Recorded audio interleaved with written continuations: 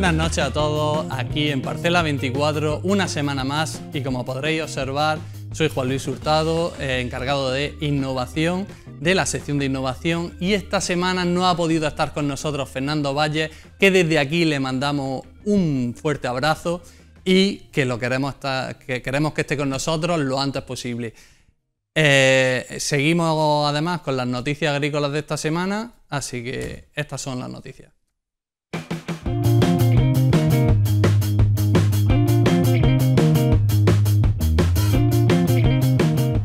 Esta mañana la consejera de Agricultura, Carmen Crespo, ha mantenido una reunión con la alcaldesa de Almería, María Vázquez. Tras ella ha anunciado que la próxima semana se llevará a cabo la adjudicación del anteproyecto del Polo de Innovación Agrícola, que se ubicará en el antiguo edificio de Correos del Paseo. También se ha dado a conocer la finalización de las obras de conexión de la pipa San Cristóbal para el mes de mayo. Ya nos han asegurado que por el buen ritmo de las obras podíamos tenerla finalizado en torno del mes de abril-mayo y por tanto la ejecución en estos momentos del 86% con las conducciones en un 66% de la obra. Por tanto, va muy avanzada y ese es nuestro deseo y la restauración de 62 kilómetros y medio de ramblas en nuestra capital. Yo creo que los vecinos de Costa Cabana se van a poner muy contentos con el charco, o por ejemplo el Alquián, el Barranco del Cuco, el desagüe del Perdigal, el Barranco del Grajo, es decir, 62,5 kilómetros. Creo que algunas, como el Charco, tienen 6,75 kilómetros. Son ramblas importantísimas que están en los núcleos más agrarios de Almería Capital y que necesitaban la actuación urgente por parte de la comunidad autónoma, como así nos había pedido la propia alcaldesa en reuniones anteriores también siguen su curso proyectos como la ampliación de la desaladora de la capital o la EDAR de Cabo de Gata, así como la depuración de aguas residuales. Ese proyecto que inicia su trámite en, autorización ambiental unificada, como saben ustedes, está en entorno de un parque natural y por tanto vamos a tener especialmente cuidado en que sea una EDAR adecuada al entorno que tiene y por supuesto en las mejores condiciones para los ciudadanos de esa zona. Antes de finalizar el año 2022 concluiremos ese proyecto. La agricultura en la capital es un sector al que el ayuntamiento tiene en cuenta. Que Almería es una ciudad, una provincia pujante en tema agrícola. Hemos hablado de las más de 3.000 hectáreas que tiene Almería capital eh, agrícola, de las más de 5 y hasta 15.000 familias que viven eh, de la agricultura almeriense. Pero tampoco se olvida el sector pesquero en breve se termina la primera fase del proyecto de las segundas ventas, que finalizará la próxima primavera y que cambiará el modelo de comercialización de las capturas de nuestros pescadores. El presupuesto de la Junta de Andalucía para 2023 destina 386,8 millones de euros a las inversiones en Almería, lo que viene a favorecer, según el consejero de Sostenibilidad, Medio Ambiente y Economía Azul y portavoz del Gobierno andaluz, Ramón Fernández Pacheco, a suponer el despegue de la provincia de Almería con una inversión de 386,8 millones de euros. 386,8 millones de euros, que son 144 millones de euros más que el presupuesto en vigor, que el presupuesto actual. Así lo ha apuntado el consejero, que junto a la consejera almeriense, la responsable de Agricultura, Pesca, Agua y Desarrollo Rural, Carmen Crespo, ha desgranado unas cuentas que vienen a demostrar, aseguran, que este gobierno sí apuesta por la provincia almeriense y sus principales sectores. Estas cuentas contemplan una importante dotación para infraestructuras en Almería. Podemos destacar el último tramo de la autovía de la Almanzora, entre la Concepción y la autovía del Mediterráneo en la A7, con una inversión de 7,45 millones de euros para terminar ya esa autovía, autovía que hay que recordar, cuando llegamos al gobierno, estaba absolutamente parada, absolutamente olvidada. O, por ejemplo, la rehabilitación de la casa consistorial de la ciudad de Almería, del edificio de la Plaza Vieja, para el cual se contempla una inversión de 2,2 millones de euros, o el enlace de Mojácar, para el que se va a destinar 2,5 millones de euros. En el marco de unas cuentas pensadas para que las familias andaluzas puedan afrontar la situación de crisis económica a raíz de la fuerte inflación, el presupuesto aprobado este pasado viernes en el Consejo de Gobierno... Lo que son presupuestos responsables. ¿Por qué? Porque cuando en estos momentos, como bien decía, bajamos los impuestos a los ciudadanos, estamos siendo responsables sobre las situaciones personales de muchas familias que en estos momentos están empezando a pasarlo mal y las circunstancias no van a mejorar. Por tanto, nuestra responsabilidad y la del presidente de la Junta es hacer las cuestiones más fáciles a los andaluces y, como no, también a los almerienses dentro de los andaluces. Son responsables y fundamentalmente expansivos en la inversión en el ámbito de la sanidad, el consejero y portavoz ha apuntado cómo la inversión supera la cota histórica del 7% del PIB andaluz. Y en la provincia de Almería, esta inversión tiene nombre y apellidos, dado que incluyen partidas para nuevos centros de salud en el ejido capital almeriense o Benadux, además de una inversión de 3,8 millones de euros en el centro de Mojácar y 15,4 millones para el Hospital de Alta Resolución de Roquetas de Mar.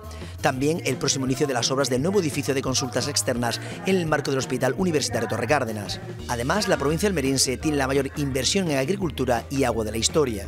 Pasamos de 174,7 euros por habitante a 527 euros por habitante en inversiones provincializadas. Es decir, no que hagamos una inversión importante, que lo hacemos, sino que provincializamos más actuaciones para que puedan conocer también los almerienses en qué se dedica esos recursos económicos. En educación han querido destacar la importante subida del 17% experimentada en la provincialización, así como el esfuerzo inversor que está realizando esta consejería en la provincia de Almería con 46 millones de euros para acometer obras. En definitiva, las presentadas por Fernández Pacheco y Carmen Crespo son y aseguran unas cuentas realistas pegadas al territorio y que buscan que la economía andaluza crezca un 1,9% el próximo año, un crecimiento ligeramente superior al 1,7% previsto por España. La Semana de la Ciencia llega a la Universidad de Almería en su edición número 22 desde el 7 hasta el 11 de noviembre. Volvemos otra vez a la carga para atraer a los más jóvenes a la Universidad de Almería, despertar vocaciones científicas, que se sepa lo que se hace en los laboratorios de la universidad. Y lo hace con una gran participación de asistentes de más de 40 centros de la provincia. Hemos atraído casi a 2.000 estudiantes, más de 1, exactamente 1.805 estudiantes de, instituto y de, de enseñanza media y de formación profesional. Desde la universidad destacan que cada vez son más las mujeres que se suman a este proyecto.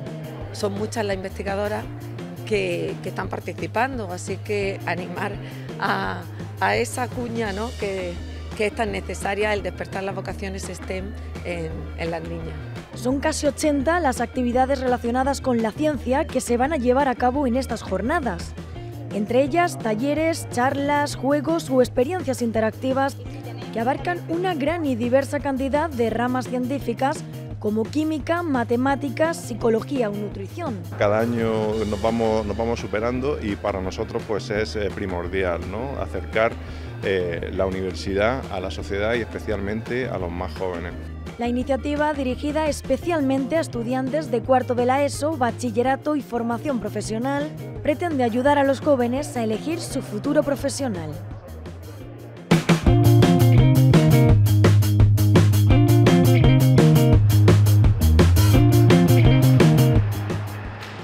El tomate Daniela empezaba su primer corte a 72 céntimos, el segundo a 64 y el tercero acababa en 61. El tomate Daniela verde, eh, no, el tomate Rafa empezaba en 72, en 65 y en 60. El tomate pera empezó en 72, 68 y acabando en 65 céntimos. El pepino francés empezaba a 1,27, a 1,24 su segundo corte y el tercer corte a 1,21, acabó a 1,10. El, pepino corto, sin embargo, empezaba a 1,50, acabando a 1,22. Y el pepino Almería empezaba en 98 céntimos, segundo corte a 96, el tercero a 94 y el último a 92 céntimos. El calabacín eh, empezaba en 1,51 y su tercer corte ya estábamos en 1,42, acabando la jornada en 1,27. El calabacín gordo empezaba en 1,59 y acababa en 1,13. La berenjena rayada por su parte eh, empezaba en 1,08, acabando a final del día en 96 céntimos. Eh, la berenjena en 1,14 empezaba y acababa en 93 céntimos. Hablaremos de esto un poquito más adelante. Eh, si empezamos con el pimiento, el pimiento lamullo empezaba a 107, el siguiente corte fue a 101, el tercero a 98, acabando en 86 el amullo rojo en 146, 129, 127, llegando a su último corte, dejándolo en 1,01 céntimos. El California Verde, por su parte, empezaba en 99 y acababa en 92. El California, el California Rojo en, 1,10, acabando en 1,03. Eh, el italiano, por su parte, empezaba el primer corte a 85 céntimos y acababa en 61 céntimos.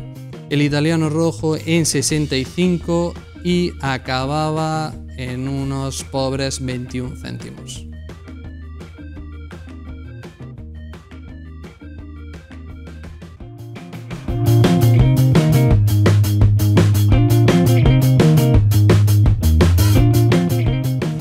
Esta noche tenemos con nosotros a Andrés Góngora de COA. La verdad es que yo desde aquí le doy las gracias porque eh, es de mis primeros programas presentando y la verdad que empezar con caras que son familiares, pues la verdad que siempre ayuda mucho. Andrés, tenemos que hablar de la situación de la berenjena. Hemos vivido una jornada un poco complicada, pero esta iniciativa, eh, la retirada de la berenjena, ¿ha funcionado? Bueno, buenas noches. Eh, en primer lugar, la berenjena y otros productos llevaban en una situación de crisis de precios durante una semana. Eh, hay que recordar todo lo que se ha debatido en torno a, la extensión de norma de la interprofesional, eh, que es la primera vez, en este caso en berenjena, que se ha puesto en marcha desde su aprobación. Hace ahora más de un año eh, desde COA se tomó la decisión de volver a formar parte de, Hortifruta, de la interprofesional, junto con, con, Asaja. Ambas organizaciones no estábamos. Lo dijimos en su momento, el único objetivo que perseguíamos para volver a la interprofesional era disponer de una herramienta, un mecanismo de gestión de mercado, de gestión de crisis de precios, y en este caso eh, es la retirada de segundas categorías. ¿Vale? La retirada de segundas categorías eh, que queríamos, y así es, eh, que fuera por extensión de norma. La extensión de norma quiere decir que es de obligado cumplimiento para todos los operadores dentro del sector, en todo el territorio andaluz. Y eh, este verano, con bastante debate con la Consejería de Agricultura, se consiguió que la norma se extendiera y por lo tanto que ya estuviera en vigor. Estaba en vigor. Primer paso adelante. Primer paso adelante porque lo, primero que hay que decir es que la importancia reside en que es un acuerdo del sector y este sector mm, si, adolece de algo es precisamente de llegar a acuerdos, ¿no? Un acuerdo en el que están alóndigas, cooperativas y organizaciones agrarias. Lamentándolo mucho, es así. Claro. Eh, el manual de gestión de crisis eh, lo que viene a dictaminar son unas barreras de precios, ¿vale? Unos precios que se cogen de la Universidad de Almería, que hay una colaboración con ellos para para estos precios y también del Observatorio de Precios de la Junta. El lunes, no de esta semana, sino de la semana anterior, ya el Observatorio de Precios indicó que se había bajado de los 32 céntimos, que es lo que nosotros denominamos la alerta roja para activar la, medida de gestión. ¿no? que no es sostenible para un agricultor. Evidentemente, ¿no? Esos precios. Nosotros desde COA alertábamos también que Pepino y Calabacín estaban en una situación de prealerta. Eh, creemos que debería de haberse actuado también y en cualquier caso el manual eh, lo que dictaminó es que a partir del lunes se activaba la alerta, se dejaban 48 horas, ¿vale? Para, para que la difusión y la noticia llegara a todos los operadores de la cadena, que lo que viene a decir es que se prohíbe vender productos de segunda categoría, pero se prohíbe no solamente al agricultor, sino que se prohíbe a lo largo de toda la comercialización y todos los operadores, ¿vale? Debe ser así. las reticencias han sido fuertes, hay que decirlo. Eh, es verdad que es un acuerdo de todos, pero hay que decir que ha habido tensión dentro de esto. La medida empezó a. La prohibición empezó el miércoles de la semana pasada, el jueves, el martes fue, fue festivo y eh, desde el jueves a las 12 de la noche estaba prohibido vender, comercializar, miércoles a las 12 de la noche comercializar segundas categorías.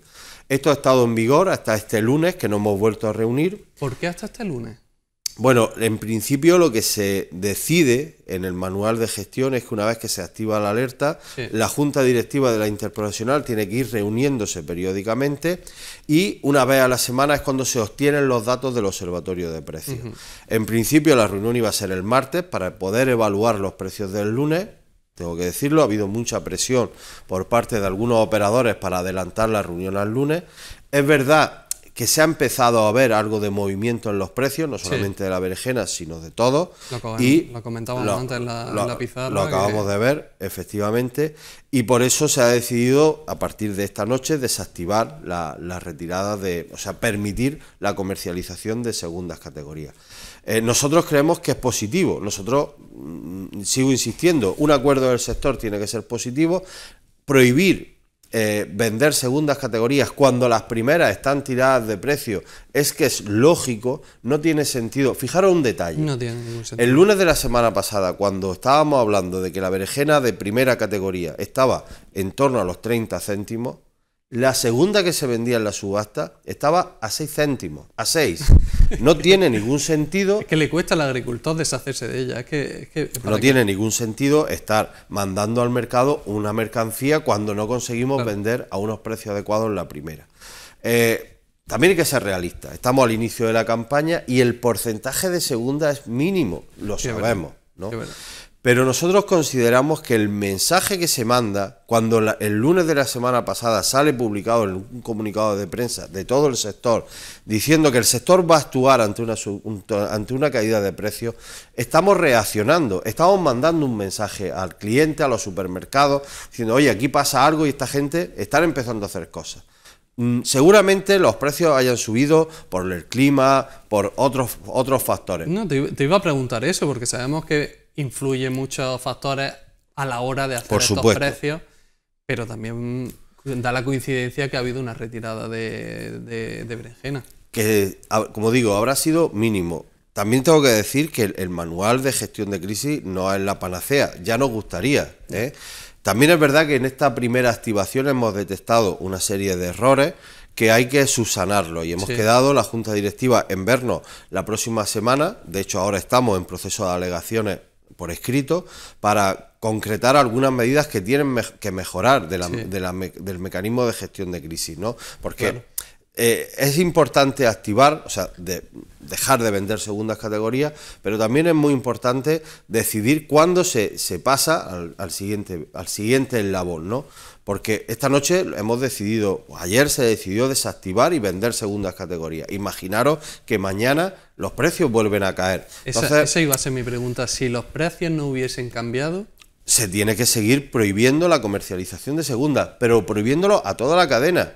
Cuidado, a toda la cadena. Eso quiere decir que agricultor y comercializadoras tampoco. Y el lunes, este lunes, la inspección de la Junta ya salía a comprobar que no se estaba comercializando, que ese es el otro eslabón, porque si lanzamos una medida pero no hay forma de controlarla, no estamos consiguiendo nada. Entonces hay que tener claro que la extensión de norma lleva una serie de medidas que adopta el sector, la prohibición de vender segundas categorías y un protocolo de inspección a las comercializadoras y, ojo, y un régimen sancionador para aquellos que incumplan una norma, porque si no, no tendría sentido. y luego, mucho cuidado, y insistimos también en esto, entre las comercializadoras están las cooperativas que están en Coespal y las alóndigas que están en Ecoal. Pero aquellas otras almacenes que no están en ningún sitio, ¿eh? que yo nunca les voy a decir chiringuitos, como a veces suena por ahí, son almacenes totalmente legítimas, pero también tienen que cumplir la medida y también se les informó desde la interprofesional que tenían que cumplir con las retiradas de segunda.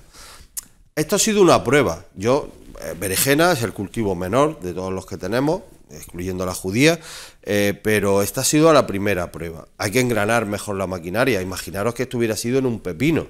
Imaginaros que toca tomar la medida en un pimiento, con el volumen de pimiento, ¿no? Pero creemos que el mensaje que como agricultores tenemos que mandar es que no podemos seguir mm, cruzados de brazos ante una situación así, ¿no? Hay que tomar medidas y, ciertamente la suerte que hemos tenido, bueno, la suerte, la oportunidad que hemos tenido en esta berenjena es que también hemos visto que ha habido algo de impacto y yo creo que los precios ligeramente han podido tener algo de, variación debido a todo este tipo de medidas. También es verdad que si ha, eh, recibido presiones por parte de la comercialización en, en berenjenas, no me quiero ni imaginar si estuviésemos hablando de pimiento, de tomate, cómo habrían estado los teléfonos. Hmm. Pero bueno. O pepino que es el producto de gran volumen y que suele atravesar situaciones de, de, crisis, ¿no? Vale, y también mm, me gustaría preguntarte, porque sé que esta, esta retirada también hemos visto que hay cierto malestar en el transporte y se ha convocado una huelga. Hmm. Pues mira, muy preocupado. Esto ha sido de repente, eh, aunque se venía, venía sonando en la última semana la posibilidad de que la plataforma por el transporte, que fue la que convocó los paros del mes de marzo, pudiera, pudiera activar otra vez los procesos de protesta. Y nos hemos enterado, bueno, ayer, ¿no? desde la organización no hemos recibido ninguna comunicación por parte de, plataforma, de, de esta plataforma convocante. Entendemos perfectamente lo que les lleva a la movilización. Ayer, eh, y ayer sobre todo, y hoy a lo largo de todo el día, hemos tenido contactos con el resto de organizaciones a nivel nacional y también con toda la estructura del sector agroalimentario a nivel nacional. Se ha mandado una carta en la que está cooperativa, FEPE, están los supermercados, hace, en fin, todo, ¿no? Eh, al ministerio, al gobierno, pidiéndoles que, atiendan sus demandas, que se sienten, creemos, creemos que hay tiempo suficiente todavía. ¿eh? Esta, esta protesta se anuncia para el próximo lunes, que se sienten a hablar, que se sienten a negociar, que lleguen a los acuerdos que tengan que llegar, pero esto mm, nos haría mucho daño. En el mes de marzo teníamos campaña, pero estábamos terminando la campaña y todavía la de primavera no había arrancado. Ahora estamos en un momento muy crítico para el sector nuestro, puesto que estamos arrancando la campaña casi de, Navidad prácticamente. Andrés, ¿crees que hay posibilidad de que se siente lleguen a un acuerdo y se pueda desconvocar esta huelga? Yo por supuesto que lo creo y por eso lo estamos pidiendo, que tienen que hablar, que lo que no puede ser es que se anuncie un proceso de movilización, por mucho que se diga que es una plataforma minoritaria o deje de ser minoritaria, pero ya vimos en el mes de marzo que sí que hubo un impacto y un impacto importante. Y luego en cualquier caso lo que sí hacemos es una llamada también a la responsabilidad hay que aplicar unos servicios mínimos. Estamos hablando de productos extremadamente perecederos, estamos hablando de alimentación. Esto no es mover muebles, esto es mover alimentos, ¿no? Eh, y estamos demandando que se establezcan unos servicios mínimos por parte de los convocantes para que la producción pueda salir. Y luego sectores muy delicados, ¿no? Imaginaros una explotación de, leche de cabra, por ejemplo, ¿no? Ahí, ahí las, las, cabras hay que ordeñarlas. El tema de los piensos para la alimentación animal, que ya en el mes de marzo tuvimos muchos problemas, los animales tienen que comer a diario, ¿no? Entonces, espero que si eh, lo primero que esperamos es que se desconvoque y si no, pues que por lo menos se tenga una consideración con nuestro sector. Debe ser así. Con ese mensaje yo creo que lo vamos a dejar por aquí en esta entrevista de hoy. Porque la verdad que yo creo que el sector agrícola lleva una jornada un poco convulsa. Eh, no le convendría nada que, que, llegase esta huelga de transporte, pero la verdad, desde aquí tenemos, han mandado un mensaje, un mensaje bastante cordial de sentarse, de hablar las cosas e intentar llegar a acuerdos. Eso sería lo principal.